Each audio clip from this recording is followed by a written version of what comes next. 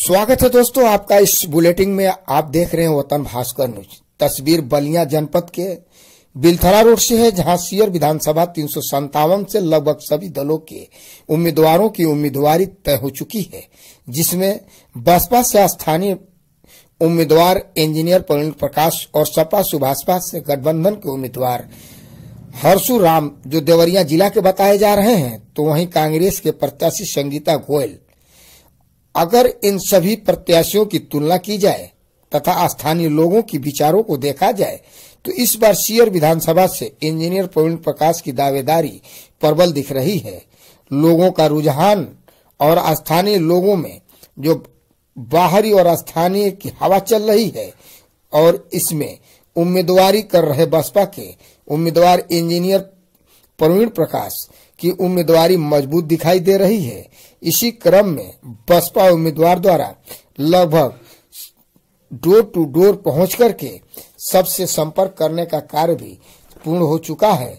वहीं इस, इनके द्वारा वार्ता व बैठक भी किया जा रहा है तथा कार्यकर्ताओं और सभी पदाधिकारियों के साथ बैठ करके रणनीति भी बनाई जा रही है।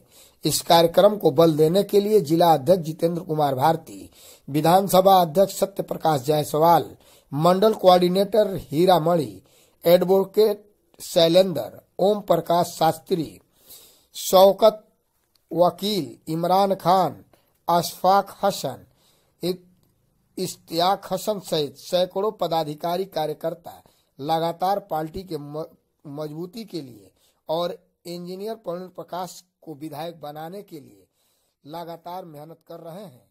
आइए जानते हैं। और इनका बयान हम आपको सुनवाएँगे, लेकिन इससे पहले आपको बता दें, लगभग सभी दलों की उम्मीदवारों की उम्मीदवारी तय हो चुकी है, तथा इसी क्रम में स्थानीय उम्मीदवार इंजीनियर प्रवीण प्रकाश और सपा बसपा से गठबंधन से आए हर्षुराम जो देवरिया जिला के बताए जा रहे हैं। तो वहीं कांग्रेस के प्रत्याशी संगीता गोयल। अगर इनकी तुलना की जाए तो इंजीनियर प्रवीण प्रकाश जो स्थानीय है, इनका इनको लाभ मिलने वाला है। और इसी को लेकर के कार्यकर्ताओं में काफ़ी उल्लास है और जगह जगह बैठक और रणनीतियाँ बनाई जा रही हैं। तस्वीर बेलथरा रोड से है, जहाँ पे सभी कार्यकर्ता, पदाधिकारी और समर्थक एकजुट हो गए हैं। इंजीनियर प्रवीण प्रकाश को विधायक बनाने के लिए और पार्टी को मज़बूत देने के लिए आइए लेकर चलते हैं एक ऐसे पदाधिकारी से जो बताएगा कि आखिर वो चुनाव कैसे जीत रहे हैं और कौन बाहरी है और कौन स्थानीय और किस रणनीति पे ये चुनाव फाइट करेंगे। तो बने रहिए वतन भास्कर के साथ। मैं मोहम्मद राशिद हुसैन। धन्यवाद। सवाल। अध्यक्ष, विधानसभा, बहुजन समाज पार्टी, विधानसभा बिलथरा रोड।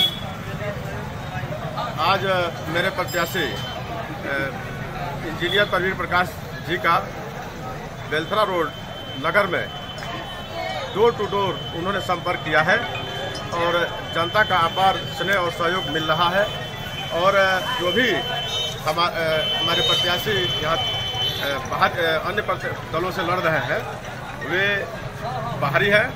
एक तो देवरिया जनपद के हैं और एक सिकंदरपुर से है।